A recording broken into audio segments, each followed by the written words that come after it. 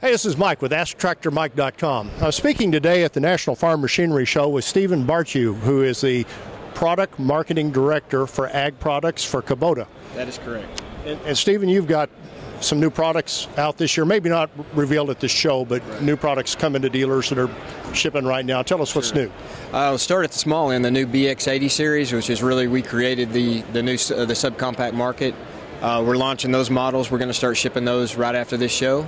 So dealers will start seeing those in their in their dealerships.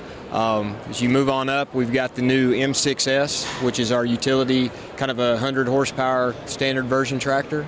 That replaced our old M108S, so that's been in the in the works.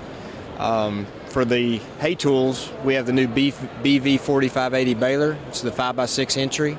So this is our third year into the baler business. We start off with 4x5s, 4x6s. Now we've got the 5x6 baler that we're rolling out.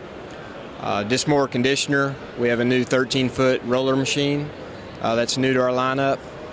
From a technology standpoint, we just uh, signed an agreement with a company called SmartPath. It's really geared towards the uh, municipalities, airports, uh, kind of a precision guidance mowing system, and that's a new technology. We, we just signed that, that agreement with that company, so we have an alliance with them.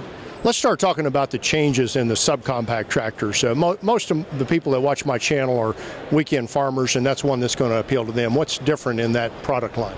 The, the thing we've tried to focus on the subcompact is ease of operation, and when I say operation, uh, attachments. So we have a new Swift-Tach front-end loader. You can completely take the loader off without getting off the seat. It's the only loader that you can do that. You can remove hydraulics, disconnect everything literally from the seat of the tractor. So uh, beyond that, we have what we call a factory option for a cab. It is a it is a, a add-on cab, but we bring it in house, and it's it's uh, more factory design than like what we've had in the past with the soft side cabs. So it gives a nice uh, uh, comfort area. Uh, when you shut the doors, it sounds like a factory cab. It has a, a heater system that's more equipped like a factory cab would be. Same thing on the on the uh, the uh, front end loader on the bucket. We now have the, the uh, skid steer quick attach as standard.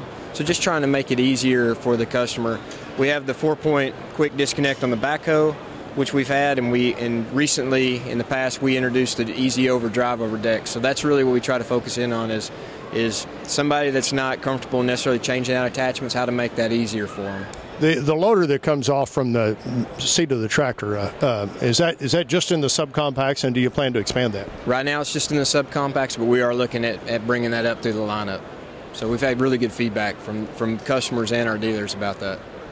The under 40 market has been really strong. Uh, uh probably maybe under 50. The, the, the weekend type farmers, the people I talk to, have been buying lots of equipment. Um, where do you see that market going in the future? Continuing to be strong, and do you want to reveal any products you're working on that we can look for in the future? Well, as far as the market, you know, it has been strong for a number of years. Uh, obviously, you know, we're in a transition period politically. There's a lot of we don't know where that's going to go. So, you know, housing starts are still good, interest rates are are steady. So, every all the indicators that we see is that it will continue at least for the, the near future. As far as uh, products, you know, looking at technology, trying to see, you know, everybody's buying these as pretty tech savvy for the most part.